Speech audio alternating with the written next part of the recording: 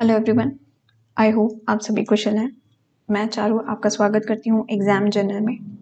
आज के सेशन में हम गवर्नर गवर्नर जनरल और वॉइस रॉय का टॉपिक जीके का घटना चक्र से मॉडर्न हिस्ट्री में पढ़ने वाले हैं। पिछले सेशंस में हमने एडवेंट ऑफ़ यूरोपियंस और British power against nawabs and other regions पढ़ा है। ऊपर आई बटन आ रहा होगा, इस पर आप क्लिक करके वो प्रीवियस वीडियो देख सकते हैं। ये आपके एग्ज़ाम के लिए बहुत इंपॉर्टेंट रहेगी क्योंकि हम यहाँ पे डिटेल में सारी जो पूरी हिस्ट्री है पढ़ेंगे, जिससे आप लॉन्ग टर्म में उसको रिटेन कर पाओ। क्योंकि आपको पता है कि एसएससी के अब जो एग्ज़ाम्स हैं, वो ऑलमोस्ट अब आठ से नौ महीने बाद सारे शुरू होंगे। तो हमारे पास इनफ टाइम है कि हम जीके को इन डेप्थ पढ़ें। इसी के साथ साथ मैं आपको बताना चाहूँगी कि हमने नई एसएससी एम 2022 की एक पहल शुरू करी है, जिसमें क्वांट के हमने percentage theory plus previous year based question 2019 से लेकर 2023 तक के कर रहे हैं। उसका लिंक भी आपको आई बटन ऊपर दिख जाएगा, वहाँ पे आप क्लिक करके उन क्वेश्चंस को और वो थ्योरी को पढ़ सकते हैं। तो चलिए, अब हम इस सेशन को स्टार्ट करते हैं। Governor governor general and viceroy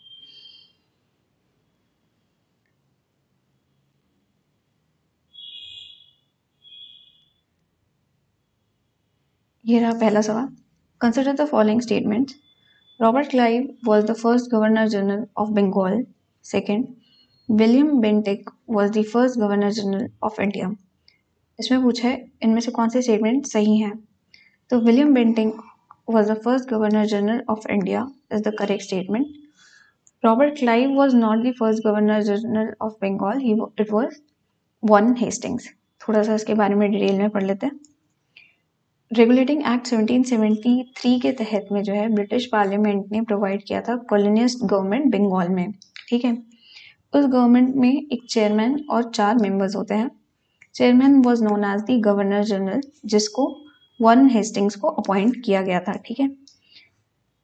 फिर चार्टर एक्ट 1833 के तहत जो है ब्रिटिश गवर्नमेंट ने सेंट्रलाइज करा इंडियन एडमिनिस्ट्रेशन को, जिसमें गवर्नर जनरल ऑफ़ बंगाल जो पहले पोस्ट वन हेस्टिंग थी।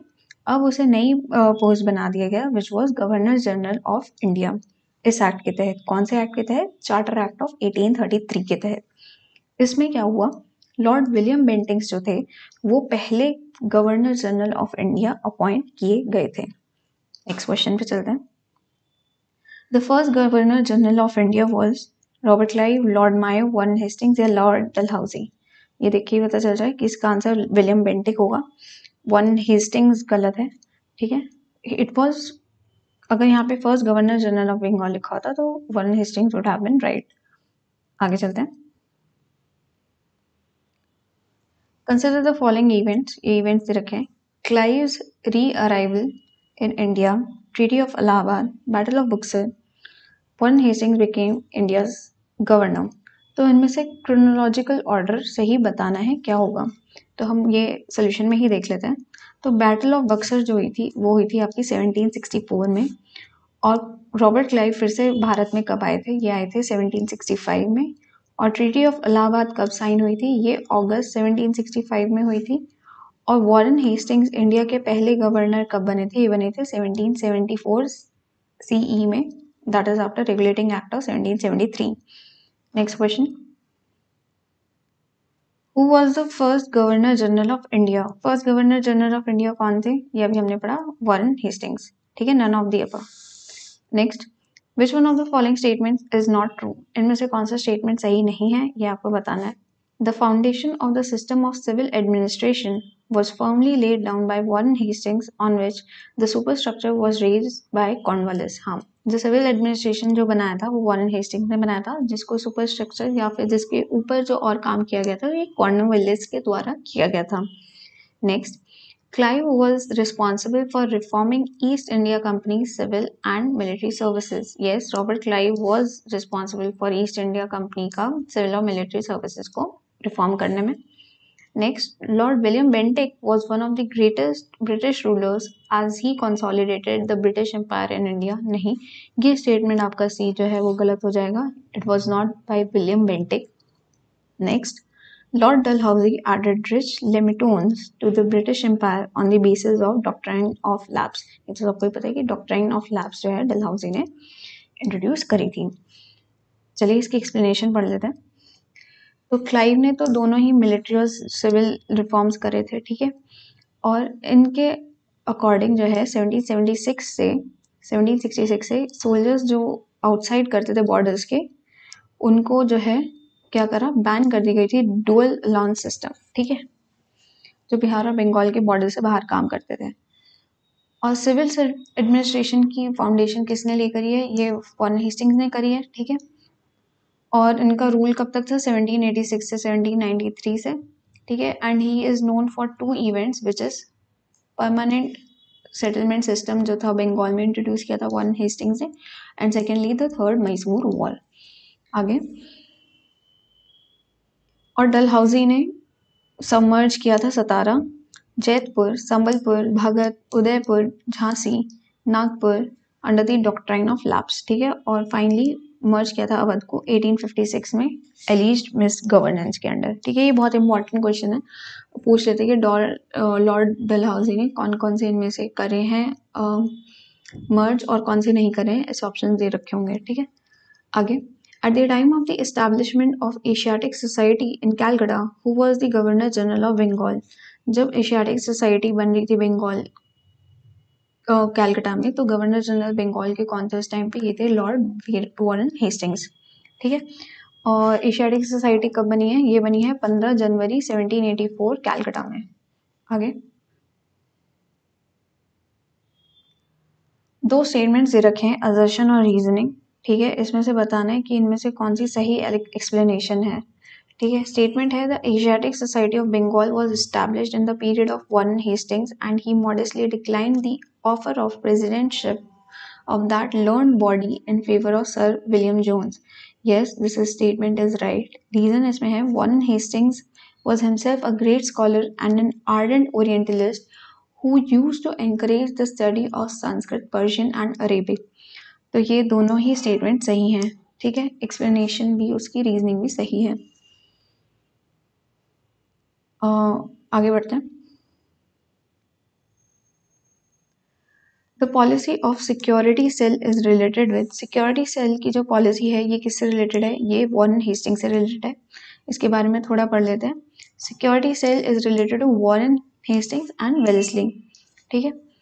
वन हेस्टिंग ने मैसूर से फॉट किया था और मराठा से, जिसमें स्टेटस इक्वलेंट करा था अदर इंडियन स्टेटस के बराबर, ठीक है? During this time the company try to form buffer state इन्होंने एक बफर स्टेट बनाने की कोशिश करी, जिसे हम रिंग फेंस के नाम से जानते हैं, जिससे वो जो है अपनी स्टेट को प्रोटेक्ट कर सके किससे? अफगान और मराठा से। उन्होंने अग्री किया कि अवध को वो प्रोटेक्ट करेंगे एक कंडीशन पे कि जो नव, नवाब जो है औद के, वो उसके जो मतलब उनके मिलिट्री एक्सपेंसेस वगैरह वो करेंगे, बेयर, ठीक है? और मेन एम जो वेलेसली का था, वो था कि इन्फोर्स करना है इंडियन स्टेट्स में कि उनकी जो आर्मी पावर है, वो उस पर रिलाई करें। मतलब जब जब उन्हें ज़रूरत पड़े तो Britishers should be the one to provide the army the British policies towards Indian states were तो ब्रिटिश की पॉलिसीज़ क्या क्या थी इंडियन स्टेट्स की? पहली थी company struggle for equality with Indian promise ये 1740 से 1765 में। सिक्योरिटी सेल की पॉलिसी या फिर पॉलिसी ऑफ़ सीज जो 1765 से 1813 तक चली।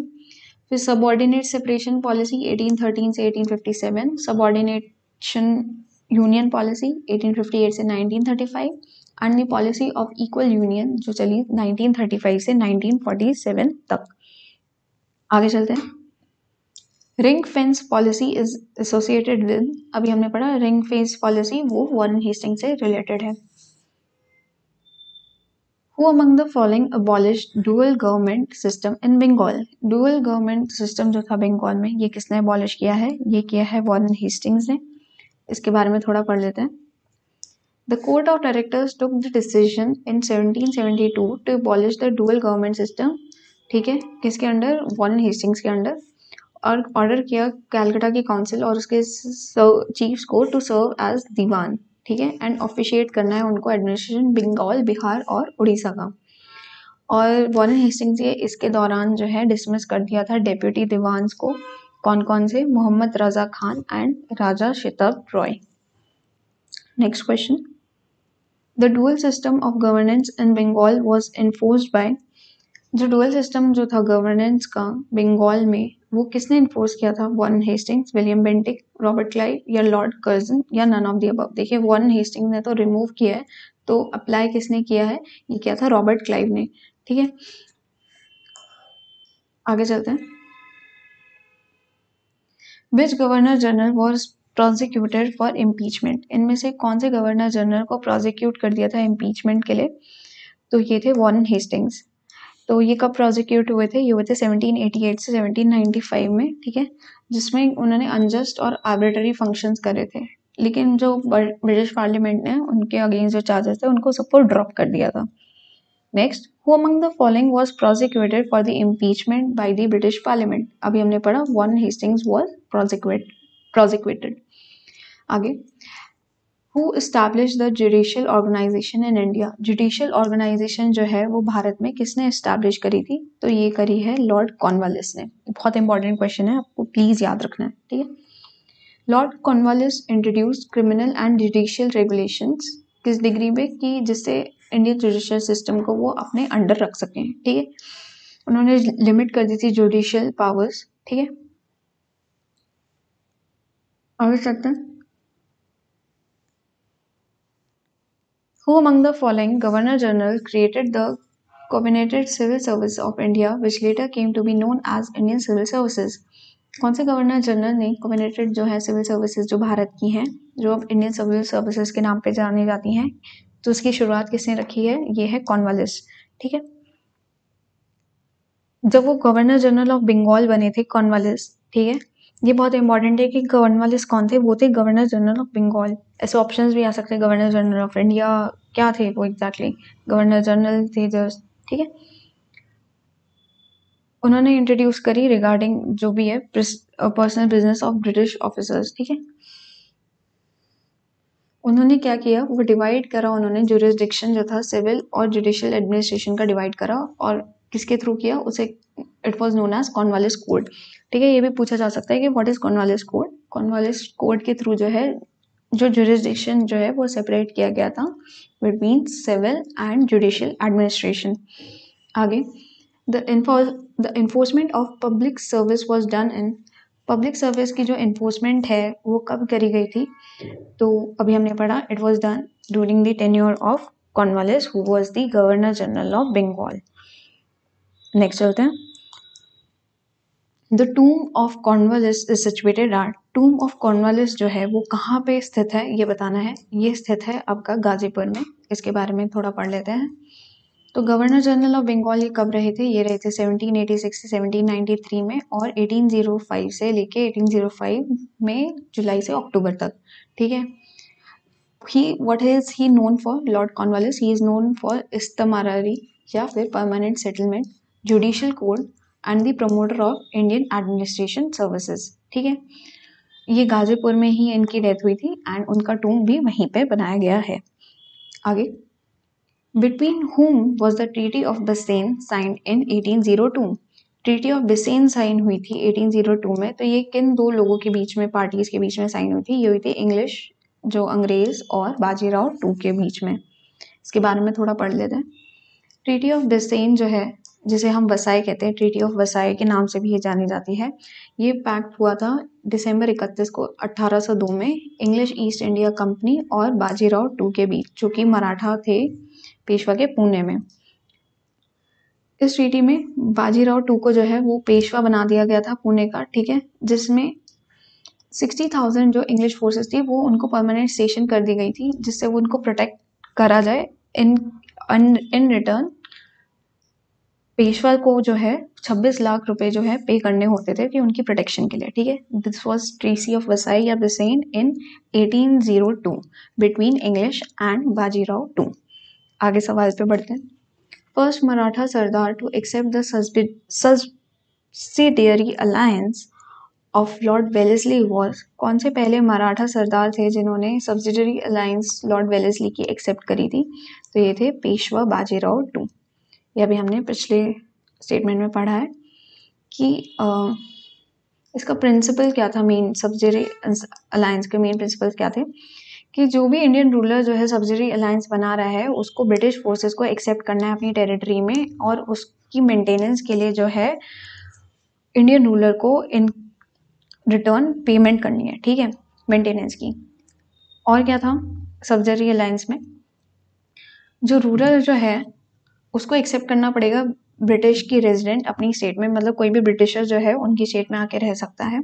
नेक्स्ट इंडियन रूलर जो भी सब्सिडी अलायंस में आता है, वो किसी और के साथ अलायंस नहीं फॉर्म कर सकता, ठीक है? ये एक वो था स्टेटमेंट नेक्स्ट क्या था? Ruler would not employ any European other than अपने जो राज्य में जो है एम्प्लॉय जो है ब्रिटिशर के अलावा और कोई नहीं करेगा।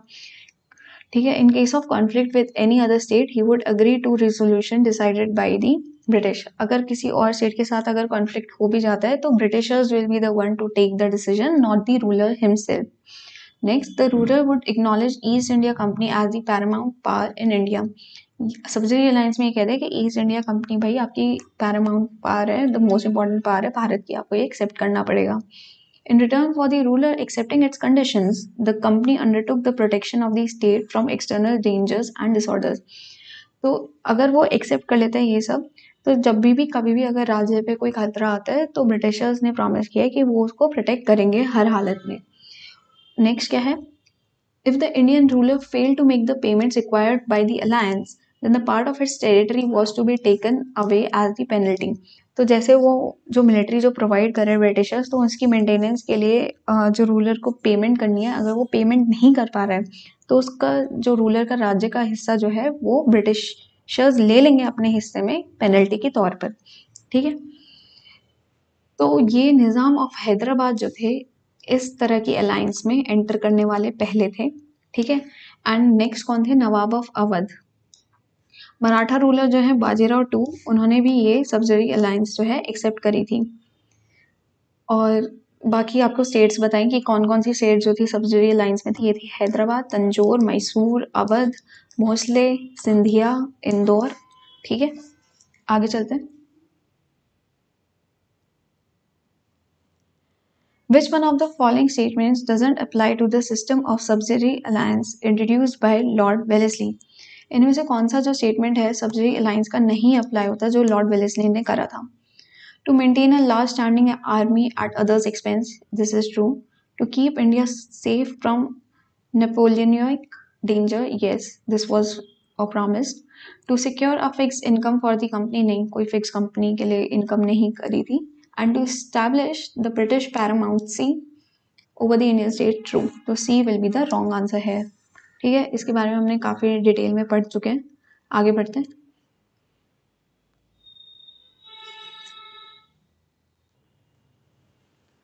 Subsidy alliance was implemented during the reign of subsidy alliance किसकी रेन के अंडर हुआ है?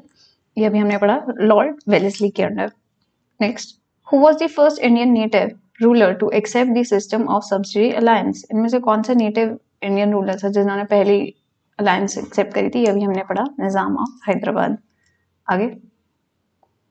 Consider the following statements which concluded the subsidiary alliance with lord Wellesley and find the correct chronological order of their treaties from the given code chronological order बताना है कि पहले किसकी हुई, फिर उसके बाद किसकी हुई। तो पहली तो हैदराबाद में हुई, ठीक है? हैदराबाद के बाद मैसूर, फिर औध, फिर सिंधिया की, ठीक है? यही सेम ऑर्डर में जो लिखा है वन टू थ्री फोर यही आपका सही आंसर होगा, ठीक है? आगे चलते हैं। The first Indian ruler who join the subsidy alliance was first Indian ruler कौन थे, ये अभी हमने पढ़ा? निज़ाम ऑफ़ हैदराबाद होना चाहिए था ना? इसका आंसर बी होना चाहिए ए क्यों है? Let me see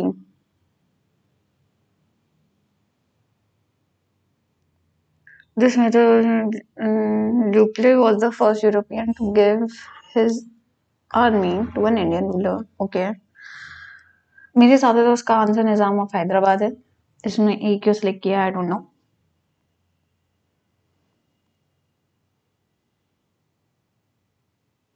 इसमें यहाँ पे लिखा हुआ है first subsidy alliance was signed by in 1765 with Awadh ठीक है फिर उसके बाद सीक्वेंस है 1765 में इससे हुई है, फिर हैदराबाद प्रिंसली स्टेट्स में जो है, हैदराबाद 1798 से 1800 में आएगा।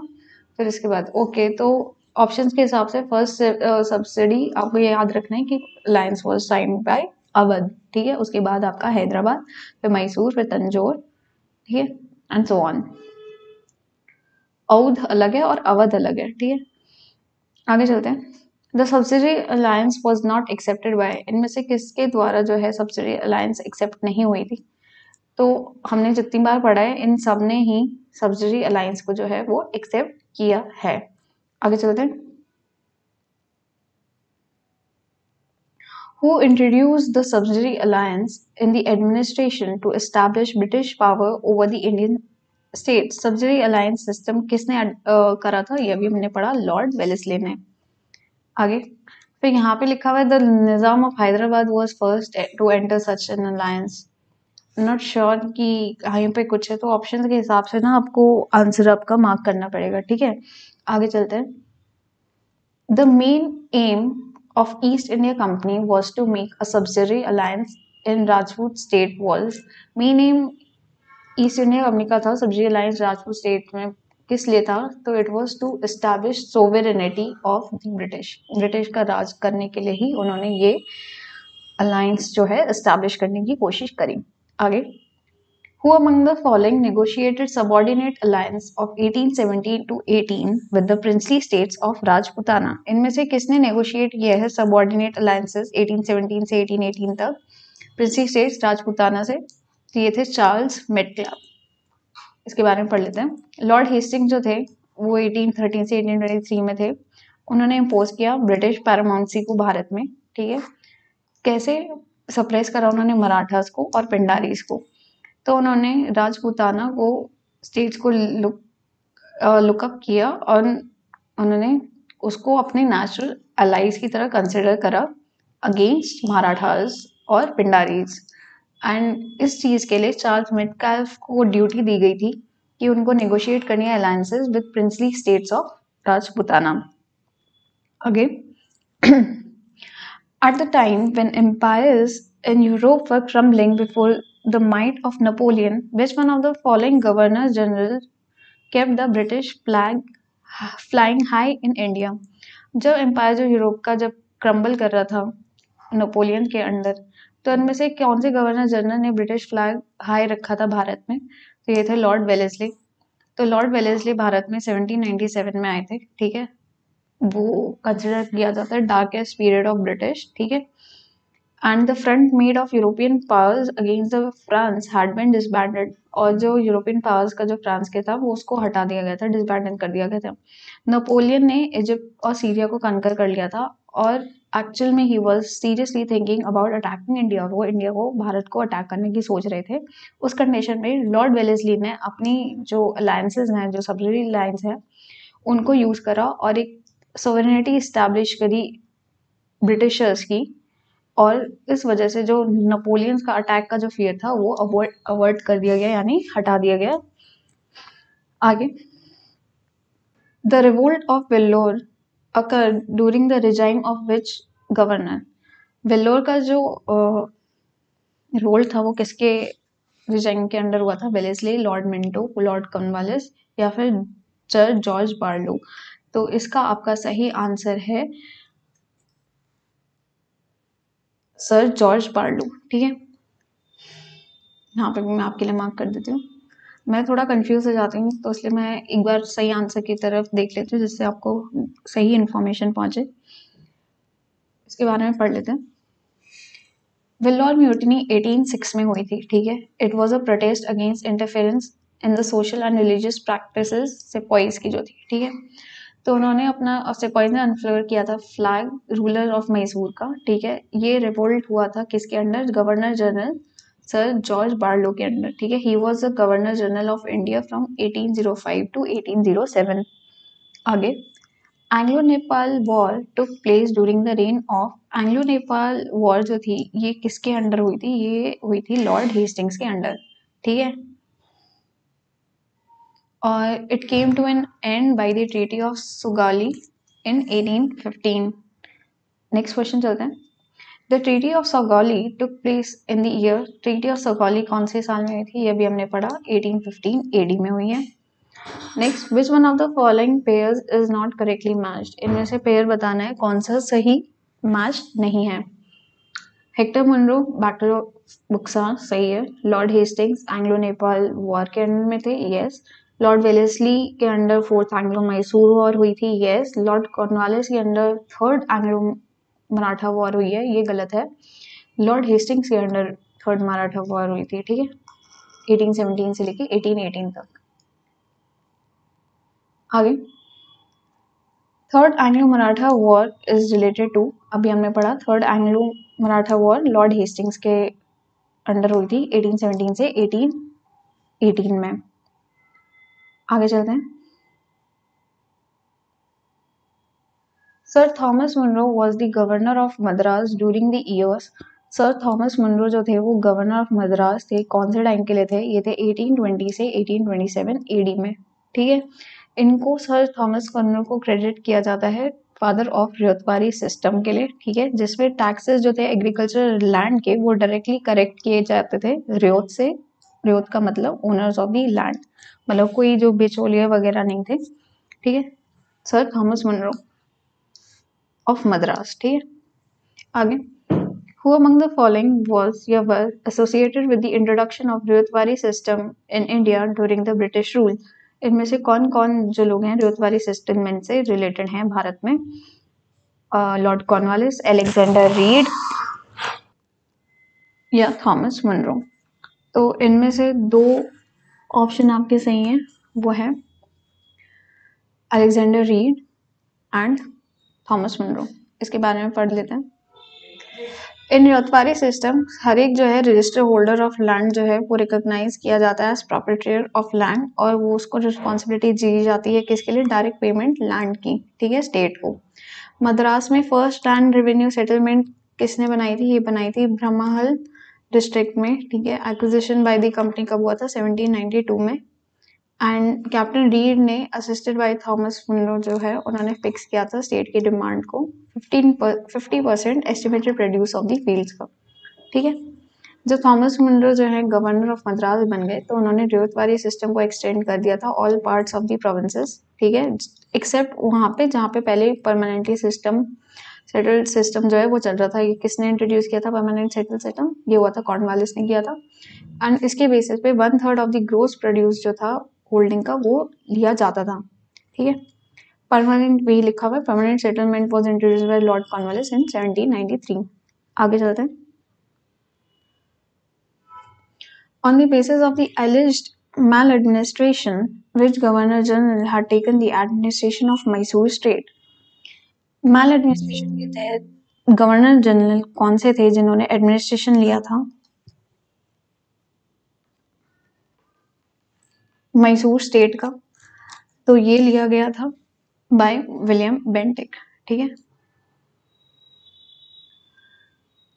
1828 में लिया था उन्होंने चार्ज जिस वजह से उन्होंने इफ़ेक्टिव एफर्ट्स के थ्रू जो है सती सिस्टम को ख़त्म किया इन्फेंटिसाइड को हटाया और इस्टेब्लिश की पीस कंट्री में सोशल इविल्स जो थे उनको रिमूव करके, ठीक है? And according to the wishes of the court of directors उन्होंने अडॉप्ट की थी policy of neutrality towards the Indian states उन्होंने काफ़ी न्यूट्रल रह के स्टेट्स को देखा है। ठीक है लॉर्ड विलियम बेंटिक की बात हो रही है यहाँ पे। उन्होंने कोई भी, जो भी अगर ब्रिटिश जो है अटैक करने की कोशिश करता था रेजिडेंट्स में तो उन्होंने उसके मतलब इंटरफेरेंस को कभी एक्सेप्ट नहीं किया। ठीक है? आगे। Who among the following Governor Generals of Bengal was associated with Third Anglo-Mysore War? इनमें से कौन से जो है एंग्लो मैसूर वॉर से रिलेटेड है गवर्नर जनरल ये अभी हमने पढ़ा Cornwallis third Anglo Mysore war कब हुई थी? 1790 से 1792 में। ठीक है? उन्होंने आर्मी का खुद कॉर्नवालिस ने चार्ज लिया था और टीपू सुल्तान ने जो है वो ट्रीटी करी थी सेरिंगपट्टनम की 1792 में। ठीक है? जिसमें क्या हुआ था? टीपू सुल्तान को अपना हाफ़ ऑफ़ द जो स्टेट है, वो ब्रिटिशर्स को, यानी कॉर्नवालिस को देना पड़ा। आगे। Who among the following was associated with suppression of thugs suppression of thugs जो है, ये कौन इससे रिलेटेड है? ये है कैप्टन स्लीमन ठीक है? थग्स जो थे, वो फॉलोअर्स थे। थग्स कौन कौन हिंदू, मुस्लिम रिलीजन दोनों को फॉलो करने वाले थे। वो इसकी वर्शिप करते थे काली, दुर्गा और भवानी की, ठीक है? They used to cut off the head and offer it as a sacrifice in the feed of goddess. तो लॉर्ड विलियम ने अपॉइंट किया था विलियम बेंटेक ने अपॉइंट किया था कैप्टन स्लीमन को कि इन थग्स के अगेंस्ट चार्ज एक्शन कुछ लिया जाए। तो उन्होंने अरेस्ट किया था पंद्रह सौ थग्स को, ठीक है? जिनमें से काफ़ी लोगों को हैंग उनको हैंग कर दिया गया था। और कुछ को लाइफ टाइम के लिए उनको उस एरिया से बैनिश कर दिया गया था। ठीक है? आगे। Under whose leadership was the separation of thugs achieved यह भी हमने पढ़ा कैप्टन सीमन के under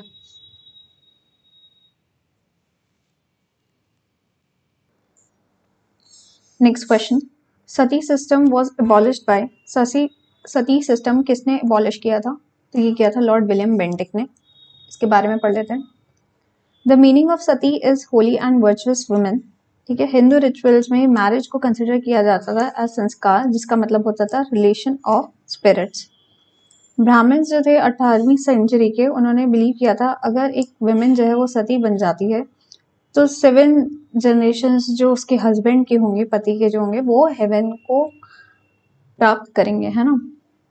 It was quite famous among highly reputed Brahmins Kshatriya and Rajput ये क्षत्रिय ब्राह्मण और राजपूतों में काफ़ी फ़ेमस था। एंड कुछ रूलर्स जो थे, उन्होंने भी इसको कोशिश करी थी अबॉलिश करने की सिस्टम को। इनमें से एक कौन थे? Akbar was one of them ठीक है। पोर्तुगीज और फ्रेंच ने भी ट्राई किया कि इसको इबॉलिश किया जाए सिस्टम में, गोवा में और चंद्रनगर में। लेकिन इट वॉज़ राजा राम मोहन रॉय जिन्होंने अपना कैंपेन स्टार्ट किया था अगेंस्ट दी सती प्रैक्टिस ठीक है? द बंगाल सती रेगुलेशन या रेगुलेशन ऑफ़ सेवेंथ तीन जो 1829 में हुई थी और बंगाल कोर्ट ये एक लीगल एक्ट था जो कि स्टार्ट किया था ब्रिटिश इंडिया ने under East India company rule उस टाइम के जो गवर्नर जनरल थे लॉर्ड विलियम बेंटिक ने, जिसने इस प्रैक्टिस को सती की प्रैक्टिस को बैन किया है। आगे। In which year sati system was abolish by William Bentinck sati system कौन से ईयर में विलियम बेंटिक ने एबॉलिश किया है? यह भी हमने पढ़ा। 1829 एडी याद रखिएगा। Assembly Plan was set up for the development of Adivasi by hill assembly plan जो था, वो आदिवासियों के लिए सेटअप किया गया था। किसके द्वारा किया गया था? ये किया गया था क्लीवलैंड के द्वारा। ठीक है? इसके बारे में थोड़ा पढ़ लेते हैं। हिल असेंबली प्लान ये सेटअप किया था development of Adivasi by Cleveland ठीक है? पहाड़ियाज अंडर यूनिफॉर्म एडमिनेशन के और हिल असेंबली के हिल चीफ्स को सरदार बोला जाता था, ठीक है? आगे।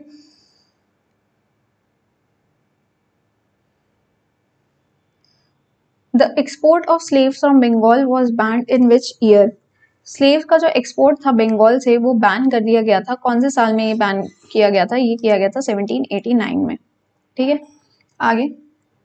Awadh was annex to British empire in India by Awadh जो था एनेक्स किया गया था ब्रिटिश एम्पायर के द्वारा, भारत में कब किया गया था? ये किया गया था by declaring the state as maladministrative maladministration के अंडर जो है, अवध की स्टेट को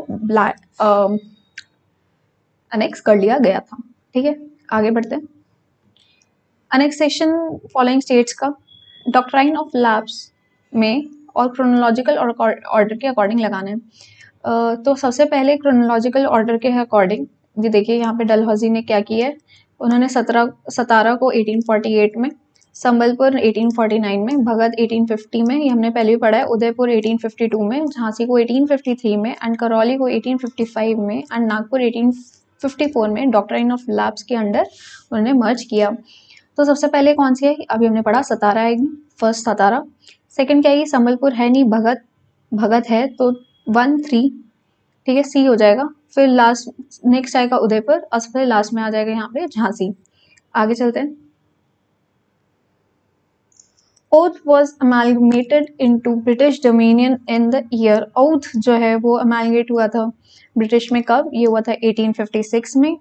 Next James Andrew Ramsay was the real name of which government general of India James Andrew Ramsay, ये किस गवर्नर जनरल भारत के थे? उनका नाम था, ये था लॉर्ड डल हाउसी का नाम, ठीक है? तो 1848 से 1856 में he served as governor general of India and he was also known as the earl of Dalhousie आगे चलते हैं। Real name James Andrew Brown Ramsay okay which one of the following under written pairs is correctly matched इनमें से कौन से जो pairs हैं, वो सही से मैच्ड हैं, ये बताना है। तो 1856 एडी में मर्जर ऑफ़ अवध हुआ था। ये आपका सही मैच है, ठीक है? बाकी सब नहीं है। ये हमने पहले पढ़ चुके हैं, आप ऊपर से फिर से एक बार रिवाइज कर सकते हैं। आगे या पीछे जाके बैक करके बेसिकली कोड्स को मैच करना है, उनके सही ईयर ऑफ़ एनेक्सेशन से। ये हम काफ़ी बार पढ़ चुके हैं। संबलपुर 1849 में, सतारा 1848 में, अवध 1856 में एंड झांसी 1854 में। आगे।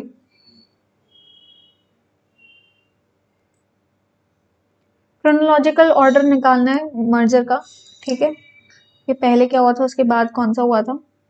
तो इनके अकॉर्डिंग जो है, कोई भी ऑर्डर सेम सही नहीं है। आपको ईयर्स पता है आप अपने अकॉर्डिंग जो है कर सकते हैं। इसमें लिखा option D stand correct otherwise there no option correct ठीक है, अगर हम सिक्किम को 1835 के मर्जर ईयर मान लें तो उसके हिसाब से डी आपका सही ऑप्शन हो जाएगा। आगे चलते हैं। Who among the following formulated and implemented the doctrine of lapse doctrine of lapse जो है, किसने बनाई थी और इम्प्लीमेंट की थी? ये की थी डल हाउसी ने। The ruler of which one of the following states was remove from the power by British on the pretext of misgovernance कौन सा रूलर जो है, वो ब्रिटिश ने हटा दिया था मिस गवर्नेंस के अंडर तो ये हुआ था अवध के साथ। आगे। Consider the following princely states of the British rule in India princely states का जो ब्रिटिश रूल है भारत में, उनमें कुछ स्टेटमेंट्स दिए हैं आपको, झांसी, संबलपुर एंड सतारा। इनमें से आपको बताना है करेक्ट क्रोनोलॉजिकल ऑर्डर जिसमें अनेक्स किया गया था ब्रिटिश के द्वारा। तो पहले आपका हुआ था सतारा, फिर हुआ था संबलपुर, फिर आपका आएगा झांसी, ठीक है? आगे चलते हैं। Which of the following was the first victim of Lord Dalhousie's policy of doctrine of lapse ये अभी हम पढ़ चुके संबल सतारा वॉज़ दी गलत कर दिया। सतारा वॉज़ दी फ़र्स्ट वो विक्टिम ठीक है? आगे। The conquest of Sindh by British was completed during the period of Sindh का कॉन्क्वेस्ट जो ब्रिटिशर्स के द्वारा ये कौन से टाइम में हुआ था? ये under the period of Lord Ellenborough के अंडर हुआ था, ठीक है? तो he merge the state of Sindh in the British empire in August 1843 और इसका मेन रीजन क्या था? फ़र्स्ट एंग्लो अफगान वॉर ठीक है? आगे चलते हैं। सिंध कौन से साल में ब्रिटिश में अनेक्स हुआ है या मर्ज हुआ है? तो ये हुआ था 1843 में। The princely state Bhagat was annexed to the British in princely state Bhagat भगत कह रही हूँ बाघट जो है वो ब्रिटिश में कब हुई थी तो बाघट हुई थी 1850 में यही सारे वही लिखे हुए सेम हम पढ़ चुके हैं आगे which of the following princely states was not annex by British इनमें से कौन सी प्रिंसली स्टेट जो थी, वो ब्रिटिश ने अनेक्स नहीं करी? सिंध हमने पढ़ा है, अवध हमने पढ़ा है, सतारा हमने पढ़ा है, ग्वालियर हमने नहीं पढ़ा तो Gwalior will be the wrong answer आगे। Who among the following was the British residents in Awadh at the time of its annexation into British Dominion?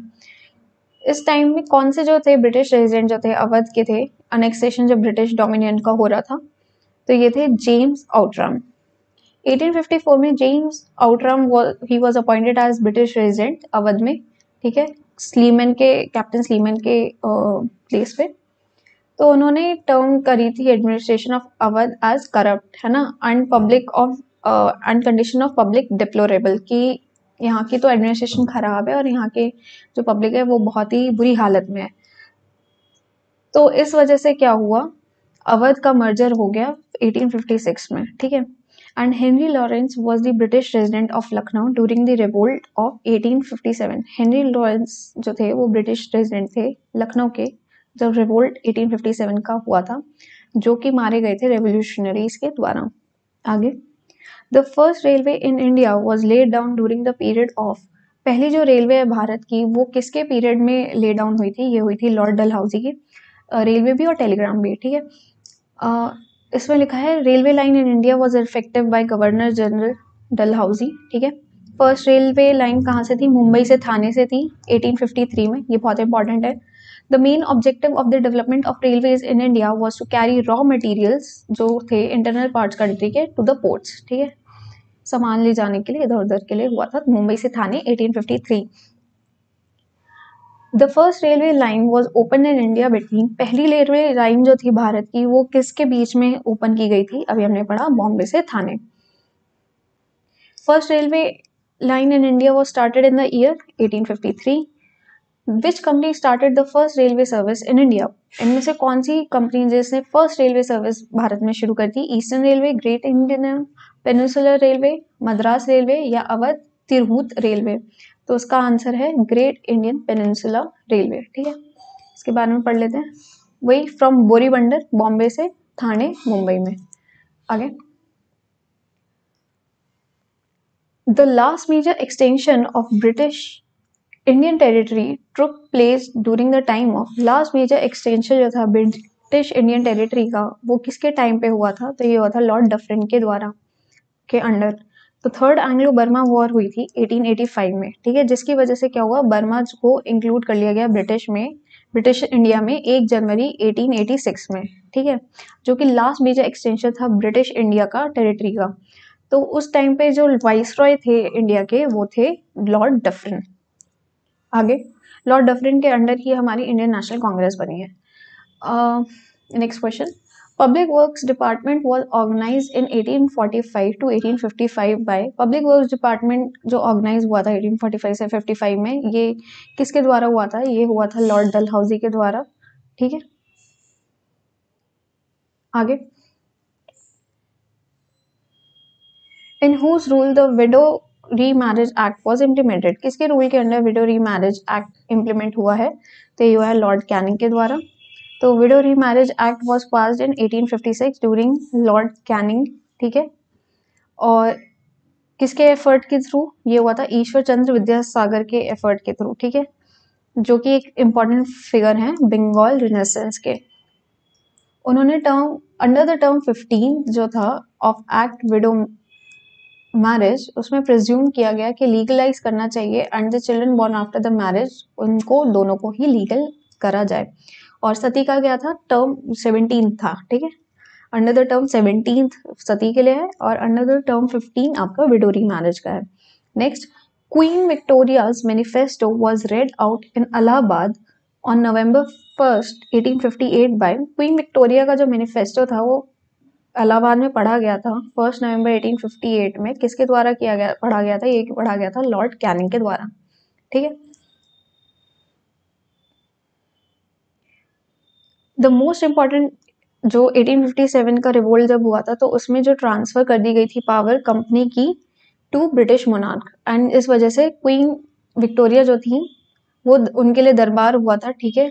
Lord Canning ने किया था इलाहाबाद में एक नवंबर 1858 में, जो बने first viceroy of India 1858 में first viceroy of India कौन बने? वो थे लॉर्ड कैनिंग आगे.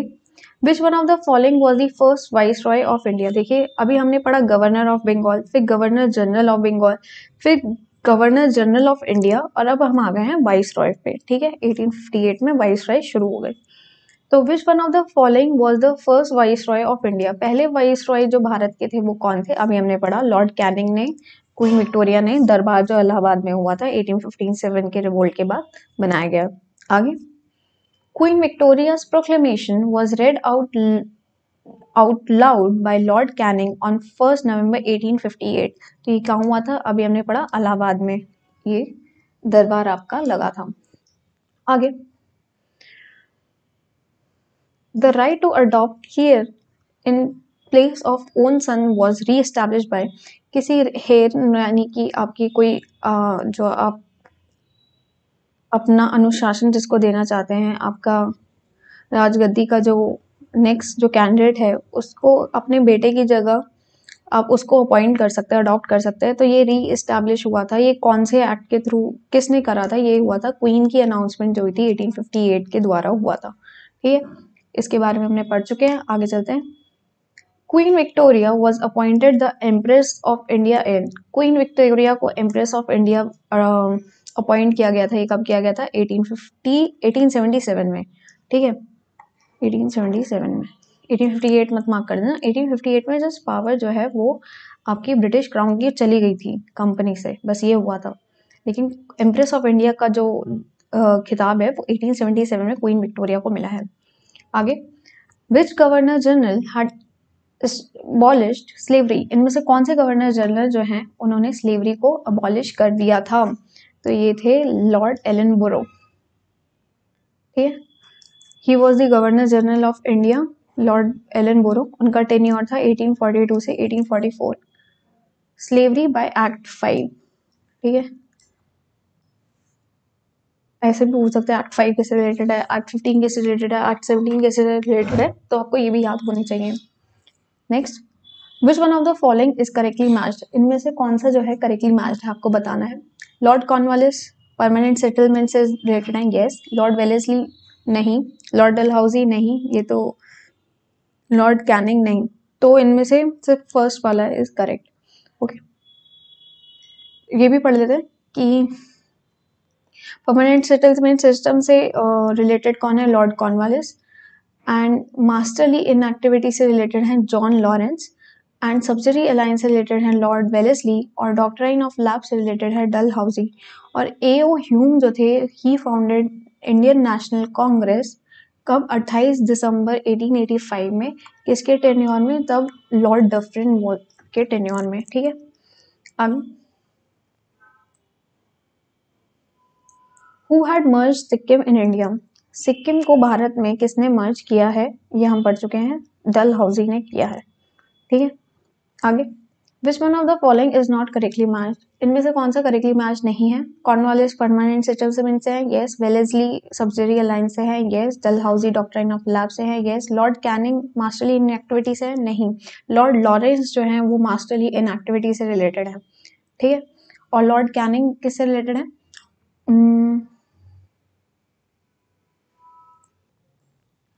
लॉर्ड कैनिंग आपसे रिलेटेड हैं कि वो पहले वाइस रॉय थे इंडिया के। ठीक है? आगे चलते हैं। Permanent settlement was introduce during the tenure of अभी हमने पढ़ा परमानेंट सेटलमेंट किसके टेन्योर में हुआ है? ये हुआ है लॉर्ड कॉर्नवालिस के टेन्योर में। आगे।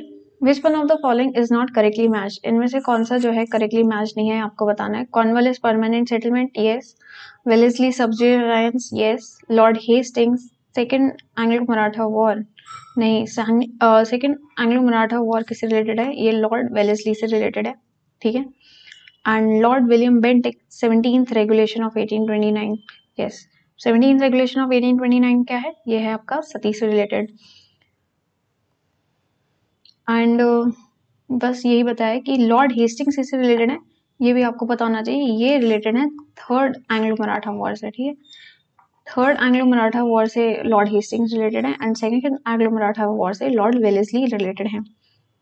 ठीक है? और लॉर्ड हेस्टिंग्स अबॉलिश कर दिया था उन्होंने टाइटल ऑफ़ पेशवा ठीक है? He abolish the title of Peshwa and merge कर दिया था उन्होंने सारे रीजन्स पेशवा को बॉम्बे प्रेसिडेंसी के अंडर आगे चलते हैं। When was Peshwaship abolished. Lord Hastings के under Peshwaship was abolished in 1818 आगे which one of the following pairs is not correctly matched इनमें से कौन सा पेयर जो है वो करेक्टली मैच्ड नहीं है? आपको ये बताना है। सब्सिडी अलायंस सही है डॉक्टराइन ऑफ़ लैब्स डलहाउजी सही है परमानेंट सेटलमेंट लॉर्ड कॉर्नवालिस सही है। लोकल सेल्फ गवर्नमेंट के लिए लॉर्ड लेटर नहीं लॉर्ड रिपन जाने जाते हैं, ठीक है? तो ये गलत हो गया आपका।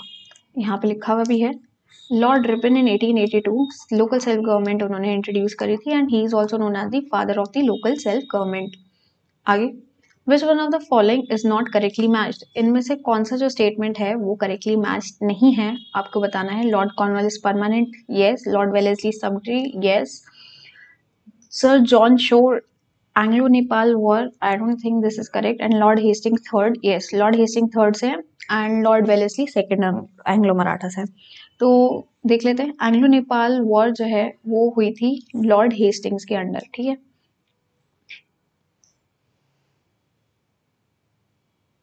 आगे चलते हैं।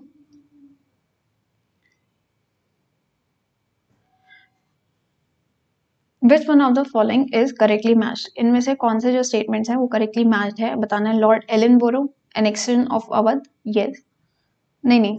एनेक्शन एनेक्सेशन ऑफ़ अवध नहीं, उन्होंने सिंध किया यहाँ पे। देखिए लॉर्ड एलन बोरो ने एनेक्सेशन ऑफ़ सिंध किया लॉर्ड डलहाउजी ने एनेक्सेशन ऑफ़ अवध किया है लॉर्ड वेलेसली ने fourth Anglo Mysore war war की है एंड लॉर्ड हेस्टिंग ने थर्ड एंग्लो मराठा वॉर की है, ठीक है? 1817 से 18 में एंड फोर्थ हुई थी 1799 में। आगे। इनमें से बताना है कौन सा पेयर सही मैच्ड नहीं है। ठीक है? तो Dalhousie annexation of Awadh yes Dufferin establishment हुई थी उनके नीचे यस लॉर्ड विलियम बेंटिक के under charter act of 1833 pass हुआ था yes Lord Lytton beginning of first Anglo Afghan war नहीं। तो ये सही मैच नहीं है डी वाला। इसके बारे में पढ़ लेते हैं तो फ़र्स्ट एंग्लो अफगान वॉर जो हुई थी ये हुई थी 1839 से 1842 में और किसके टेन्योर में हुई है? ये हुई है लॉर्ड ऑकलैंड के टेन्योर में, ठीक है? और सेकेंड एंग्लो अफगान वॉर जो हुई है, वो लॉर्ड लिटन के अंडर में हुई है। फ़र्स्ट हुई है लॉर्ड ऑकलैंड में एंड सेकेंड हुई है लॉर्ड लिटन में। फ़र्स्ट एंग्लो मराठा वॉर हुई थी थर्टी एंग्लो अफगान वॉर हुई थी 1839 से 1842 में and second Anglo Afghan war हुई थी 1878 से 1880 में। Next viceroy who followed aggressive policy towards Afghanistan was कौन से रॉय थे जिन्होंने अफ़गानिस्तान के against अगेंस्ट अग्रेसिव पॉलिसी अपनाई थी तो ये थे लॉर्ड लिटन ठीक है आगे Who among the following is associated with the policy of masterly inactivity? अभी हमने पढ़ा John Lawrence was associated with masterly inactivity. आगे The first census in India during the British period was held during the tenure of पहला जो census जो मतलब population uh, की गिनती जो करी गई थी भारत में ब्रिटिश पीरियड के दौरान ये किसके अंडर हुई थी? तो ये हुई थी लॉर्ड मायो के अंडर ठीक है? ये कब हुआ था? 1872 में हुआ था पहला सेंसस uh, भारत में ठीक है? लेकिन अगर रेगुलर सेंसस की बात करें तो ये 1881 से शुरू हुआ है लॉर्ड रिपन के टेन्योर के दौरान। लॉर्ड रिपन को हम लोकल सेल्फ गवर्नमेंट के फादर भी बोलते हैं। ठीक है? याद रहेगा? Okay who was the person to conduct census in India for the first time पहले कौन थे जिन्होंने सेंसस किया है इंडिया में फ़र्स्ट टाइम अभी हमने पढ़ा लॉर्ड मेयो 1872 में। ठीक है? और रेगुलर सेंसस 1881 में। Next one of the following viceroy of India was murdered by a convict in Andaman and Nicobar island while he was on tour तो कौन से वॉइस रॉय थे इंडिया के जो अंडमान और निकोबार आइलैंड में उनको मार दिया गया था? तो ये थे लॉर्ड मेयो ठीक है? कन्विक्टेड प्रिजनर ने उनको मार दिया था, ठीक है? He was the first governor general who was killed अपने टेन्योर में लॉर्ड मेयो आगे which viceroy was murdered in his tenure it was Lord Mayo next The Governor General who followed a spirited forward policy towards Afghanistan was spirited forward policy Afghanistan के against किसने करी थी? ये थी Lord Liton ने 1876 में, जहाँ पे second Afghan Anglo Afghan war हुई थी इनके अंडर और लॉर्ड ऑकलैंड के अंदर फ़र्स्ट एंग्लो अफगान वॉर हुई वॉर हुई थी। Which among the following viceroy's period the title of Rai Bahadur and Khan Bahadur began to confer to Indian किन वॉइस रॉय के अंडर जो है, ये टाइटल राय बहादुर और खान बहादुर शुरू हुआ था। तो इसके बारे में पढ़ लेते हैं। 1857 के रिवोल्ट में जो है, जब सप्रेस करना था रिवोल्ट नेटिव रूलर्स का, जमींदार और अदर रॉयल्स को ये टाइटल दिया गया था, ठीक है? 1859 से 1860 में।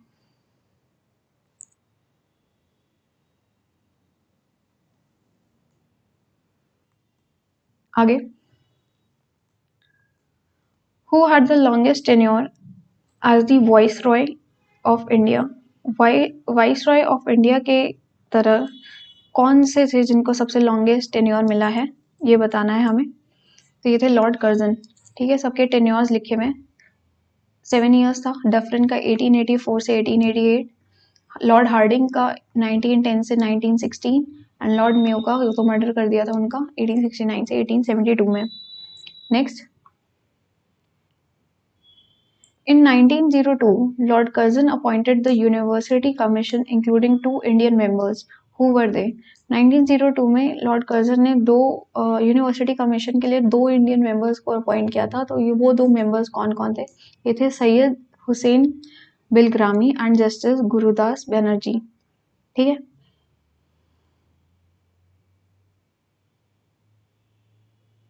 ये क्यों अपॉइंट किया गया था? It was to recommend reforms जो यूनिवर्सिटी एजुकेशन है भारत में, उसके लिए उनको अपॉइंट किया गया था। ये Indian university commission Lord Curzon के द्वारा बनाया गया था 1902 में, ठीक है? तो इसको लेड किसने किया था? ये लॉ मेंबर थॉमस रेले ने इसे लीड किया था। आगे चलते हैं। Who established imperial cadet corps imperial cadet corps किसने एस्टैब्लिश किया था? ये किया था लॉर्ड कर्जन ने। ठीक है? किसके अप्रूवल के बाद? सेक्रेटरी स्टेट ऑफ़ इंडिया की अप्रूवल के बाद नवंबर 1901 में। ठीक है? आगे। Local self government institutions in India were strengthen in 1882 by local self government के इंस्टीट्यूशन 1882 के बाद से किसने स्ट्रेंथन किया? अभी हमने पढ़ा Lord Ripon who is also known as father of self government इसके बारे में थोड़ा सा और डिटेल में पढ़ लेते हैं।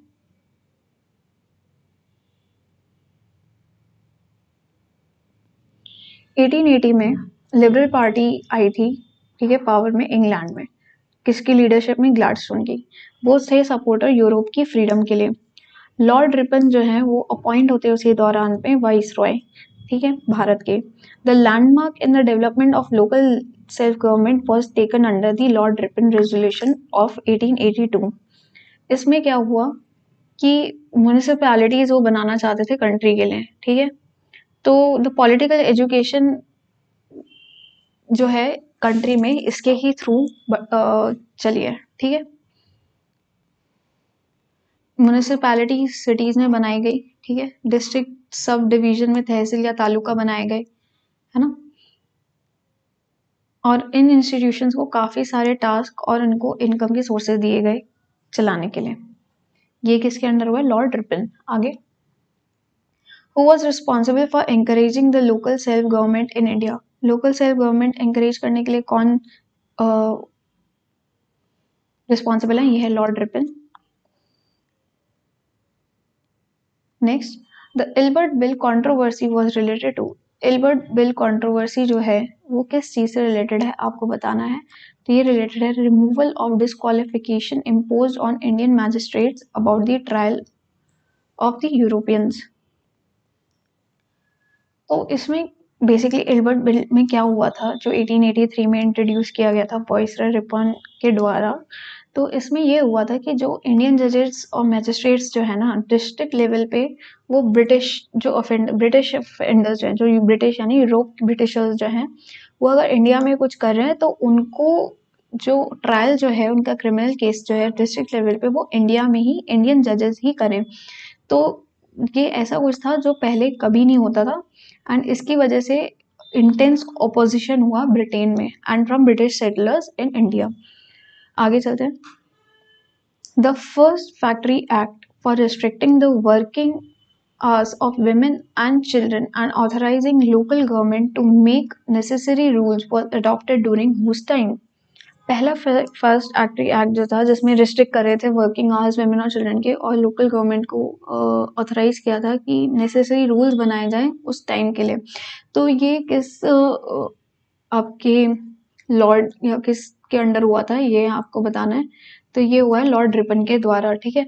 Lord Ripon was considered as most liberal viceroy of India उन्होंने फैक्ट्री एक्ट 1881 निकाला था, ठीक है? जिसमें फैसिलेट किया पोजीशन ऑफ़ वर्कर्स के लिए।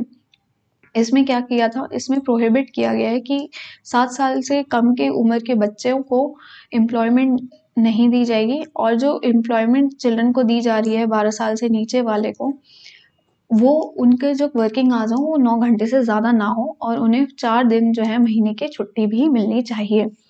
आगे चलते कंसिडर द फॉलोइंग स्टेटमेंट्स ये स्टेटमेंट्स दे रखे दो। The factories act 1881 was pass with a view to fix the wages of industrial workers and to allow the workers to form the trade unions second N M Lokhande was a pioneer in organising the labour movement in British India इनमें से आपको बताना है कौन सा statement सही है। तो टू स्टेटमेंट सही है। N M Lokhande was the pioneer in organising the labour movement in British India ठीक है? आगे चलते हैं। Who among the following is the considered to be the father of local self government in India? ये हम बहुत बार पढ़ चुके हैं। Lord Ripon was the father of local self government इसके बारे में भी पढ़ चुके हैं। 1882 में आया था। ठीक है? बार बार पढ़ने की ज़रूरत नहीं है। अगर आपको लगता है तो आप वीडियो पॉज करके फिर से एक बार देख सकते हैं। आगे चलते हैं। Next question match the list one with list two and select the correct answer from the code below list one और लिस्ट टू दे रखी है। हमें रिलेशन बताना है। Clive is related to dual government in Bengal Bentinck is related to English education.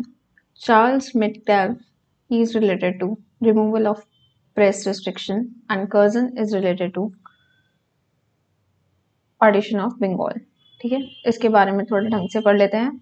1765 में Lord Clive ने implement करी थी डर्ल गवर्नमेंट सिस्टम बंगाल में, ठीक है? और मॉडर्न एजुकेशन की जो फाउंडेशन है, ये लेट डाउन हुई थी बाय मिकॉले ठीक है? किसके टेन्योर में? बेंटिक विलियम बेंटिक के टेन्योर में। ठीक है? आगे।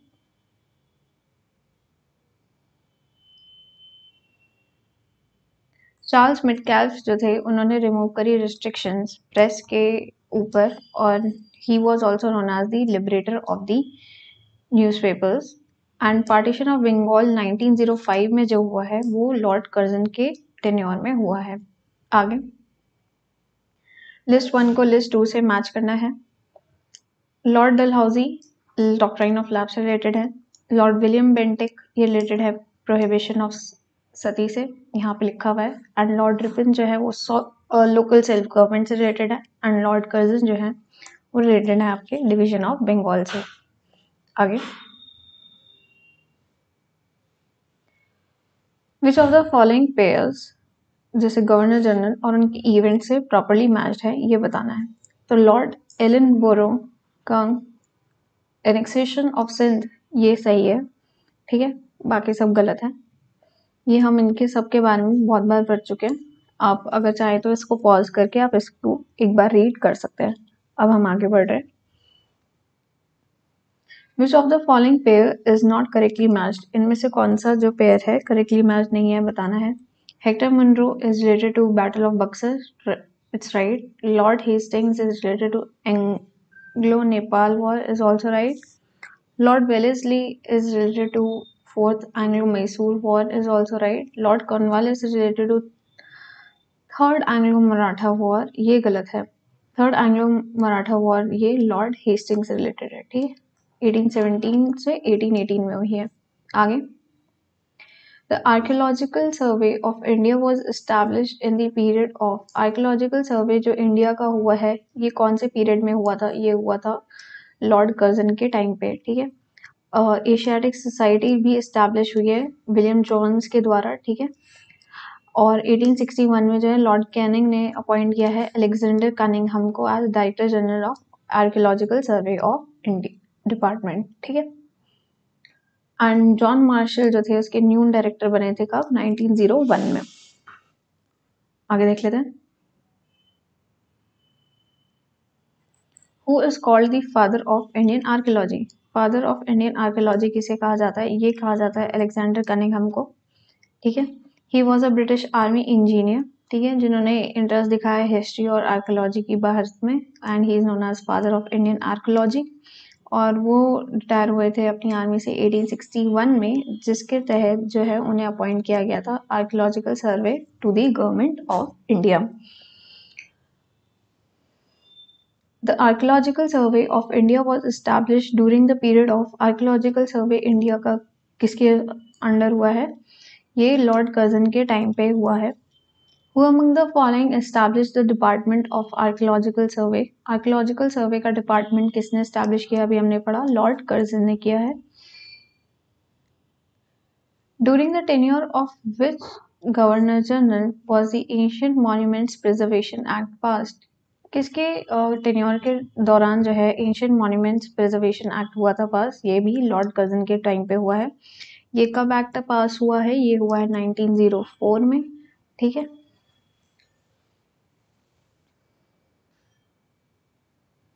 आगे बढ़ते हैं। Important event of Lord Dufferin's tenure as viceroy was एक इंपॉर्टेंट इवेंट हुआ है लॉर्ड डफरेंस के टेन्योर में। तो ये क्या था वो इवेंट तो it was the establishment of Indian National Congress कब हुई थी ये? 1885 में हुई है।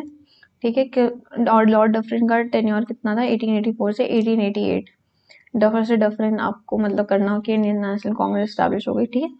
इसके लिए कह सकते हैं। And he initially called Congress as representative of microscopic minority ठीक है? और उन्होंने जो है कांग्रेस को सीरियसली नहीं लिया इंडियन नेशनल कांग्रेस जो स्टैब्लिश हुई थी। ये ह्यूम ने करी है। आगे who among the following governor generals ridiculed Congress as represented only a microscopic minority of people अभी हमने पढ़ा Lord Dufferin next who compared Curzon's administration in India to that of Aurangzeb Curzon का जो administration था India में, उसको Lord Lord Curzon का जो एडमिनिस्ट्रेशन था, उसे औरंगज़ेब से कंपेयर किया था। ये किसने किया है? ये किया है गोपाल कृष्ण गोखले ने। आगे। In my belief Congress is to tottering to its fall and one of my great ambitions while India is to assist to a peaceful demise कि मेरे मुताबिक जो है, कांग्रेस जो है, वो अपने मतलब अब वो अपने आखिरी चरण पे है। और मेरा ग्रेट एम्बिशन जो है, मेरे जो वो है, मैं चाहता हूँ कि इसका, इसको फाइनल जो ख़त्म कर दूँ कांग्रेस को तो ये किसने कहा था? ये कहा था लॉर्ड कर्जन ने, ठीक है? कर्जन का रूल था 1899 से 1905 में सेवन ईयर रूल ठीक है, इंडिया में। और उन्होंने इंडियन नेशनलिस्ट को काफ़ी कुछ बोला गया है ठीक है? और उनकी एक्टिविटीज़ को कहा है लेटिंग ऑफ़ ऑफ़ गैस ठीक है? और ये स्टेटमेंट उन्होंने 1900 एडी में दी थी। Next consider the following viceroys of India during the British rule ये वॉइस रॉयज आपको दिए गए हैं ब्रिटिश रूल के दौरान। आपको बताना है इनमें से क्रोनोलॉजिकल ऑर्डर सही क्या है?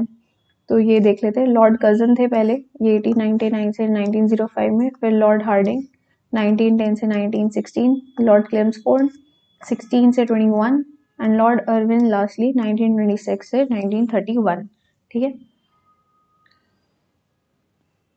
The strategy of divide and rule was adopted by divide and rule की जो स्ट्रैटेजी थी, ये किसने अडॉप्ट करी थी? तो this was adopted by Lord Curzon and Lord Minto both ठीक है? हिंदू मुस्लिम जो डिफरेंसेस थे उनकी एडवांटेज जो है ब्रिटिशर्स ने ली है, ठीक है? एंड इसलिए वो they came up with the strategy of divide and rule and इसके दौरान जो है पार्टीशन हुआ है बंगाल का 1905 में, ठीक है? और लॉर्ड मिंटो ने क्या किया था? उन्होंने प्रमोट किया था सेपरेट इलेक्ट्रेट फॉर मुस्लिम्स आगे? The Muslims, if contented and satisfied, would become the greatest bulwark of British power in India. अगर मुस्लिम्स को उनकी खातिरदारी और उनको सेटिस्फाई रखा जाए तो ये जो है ब्रिटिश पावर को बहुत अच्छे से मतलब सहमत कर सकते हैं इंडिया में। तो ये किसने लिखा था? तो ये लिखा था डब्ल्यू डब्ल्यू हंटर ने। ये अपनी बुक जो है द इंडियन मुसलमान्स ठीक है? उस बुक में ये लाइन लिखी है डब्ल्यू डब्ल्यू हंटर ने। आगे चलते हैं।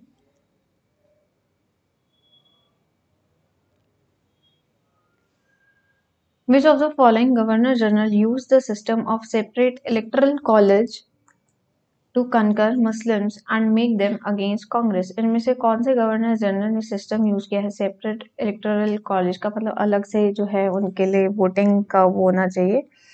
जिससे वो मुस्लिम्स को कनकर कर सके ये अभी हमने पढ़ा, लॉर्ड मिंटो ने किया है।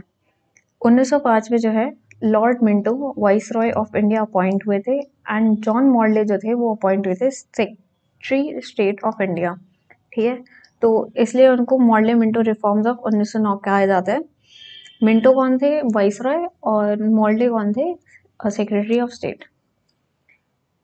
और 1909 में ही तहत में जो है सेपरेट इलेक्ट्रेट और सेपरेट कॉन्स्टिट्यूएंसी मुस्लिम्स के लिए प्रपोज की गई थी।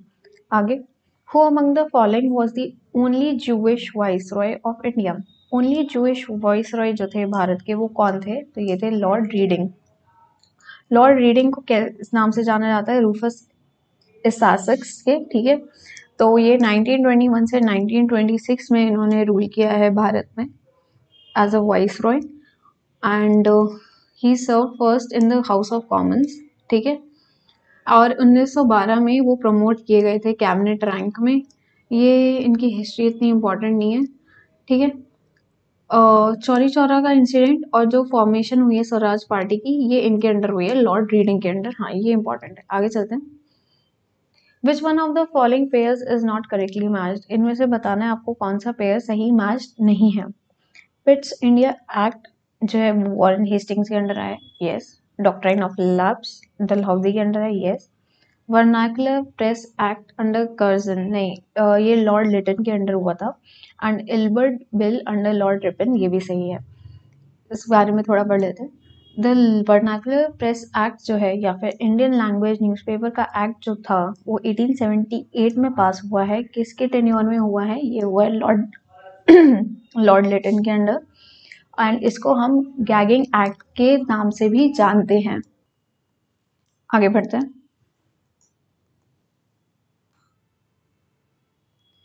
Which of the following pairs is not correctly matched इनमें से कौन सा जो पेयर है, वो करेक्टली मैच्ड नहीं है, हमें बताना है। ठीक है?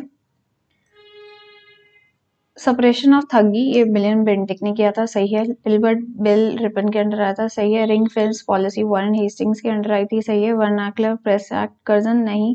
अभी हमने पढ़ा लिटन के अंडर आया है 1878 में, जिसे हम गैगिंग एक्ट के द्वारा भी जाना जाता है। आगे चलते हैं। The transfer of the capital of the British India from Calcutta Delhi was affected during the period of capital का ट्रांसफ़र हो रहा था ब्रिटिश इंडिया का कैलकटा से डेली से। ठीक है, ये किसके पीरियड में हुआ है? तो कैपिटल जो है इंडिया से कैलकाटा में हुई है affected during the tenure of Lord Hardinge ठीक है?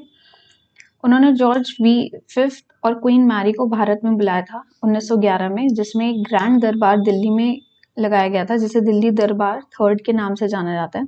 इस टाइम पे क्या हुआ था? पार्टीशन ऑफ़ बंगाल जो है वो रिजेक्ट कर दिया गया था और ट्रांसफ़र ऑफ़ कैपिटल को डिक्लेयर किया गया था। आगे।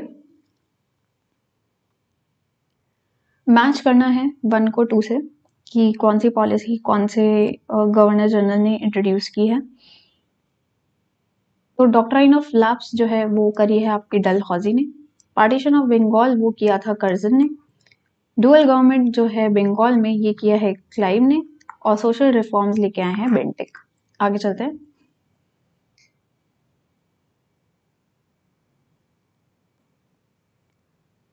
Who was the founder of empire in India empire जो फाउंडर हैं इंडिया में, वो कौन थे? तो ये थे लॉर्ड क्लाइव रॉबर्ट क्लाइव जो हैं, वो कंसिडर करे जाते हैं फाउंडर ऑफ़ ब्रिटिश इंडिया वो मद्रास में आए थे, ठीक है 1744 में. एंड उसके दौरान जो है, उन्होंने 1757 में डिफीट किया है नवाब ऑफ़ बंगाल को बैटल ऑफ़ पलासी में, ठीक है, जिसकी वजह से क्रिएशन ऑफ़ ब्रिटिश राज हुआ है भारत में. आगे चलते हैं.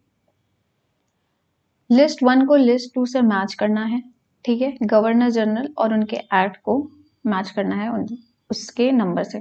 तो ये थोड़ा सा कॉम्प्लिकेटेड है फिर भी हम कोशिश करेंगे मैच करने की। गवर्नर जनरल या presidency of Fort William in Bengal जो था, रेगुलेशन एक्ट ऑफ़ 1773 में हुआ था, ठीक है? तो ये किसने किया था? ये किया था चार्ल्स कॉर्नवालिस सेकेंड अर्ल ने and first marquess of Cornwallis ने। नेक्स्ट गवर्नर जनरल जो इंडिया के थे चार्टर एक्ट ऑफ़ 1833 में, ये किसे बनाया था? ये बनाया था जेम्स एंड्रयू ब्राउन रामसे और मार्की ऑफ़ डलहौजी जिसे हम लॉर्ड डलहौजी के नाम से जानते हैं। Next governor general and viceroy of India जो 1858 में कौन बने हैं? तो ये बने थे आपके Gilbert John Elliot and earl of Minto आगे। Governor general and crown representative in 1935 तो ये आपके थे वेवल ठीक है? वेवल प्लान 1935 में। इसके बारे में ढंग से पढ़ लेते बंगाल को एक्वायर कर लिया था रेगुलेटिंग एक्ट 1773 का अप्लाई हुआ था, ठीक है? जिसकी वजह से गवर्नर जनरल ऑफ़ बंगाल बनाया गया था, जो कि Warren Hastings was the first governor general, ठीक है? 1833 में डलहाउसी हुए थे 1858 में मिंटो हुए थे एंड 1935 में वीवल। तो यहीं पे हमारा टॉपिक गवर्नर जनरल वाइस का ख़त्म होता है। अब आई थिंक ये एक आवर समथिंग का कुछ सेशन हुआ है हमारा। काफ़ी अच्छा सेशन है। सारे इंपॉर्टेंट टॉपिक्स जो है हमारे इस सेशन में कवर हो चुके हैं। अगर आप ये सेशन भी ढंग से कर लेंगे तो काफ़ी आपको हेल्पफुल रहेगा, ठीक है?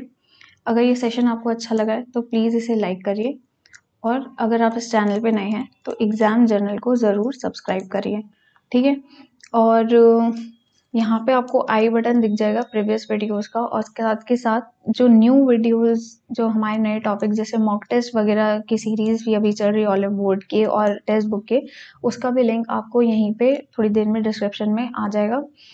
और कुछ भी आपका रिव्यू कुछ भी फीडबैक है तो आप इसे ज़रूर उसे नीचे कमेंट डाउन ज़रूर करें, ठीक है? और thank you everyone take care bye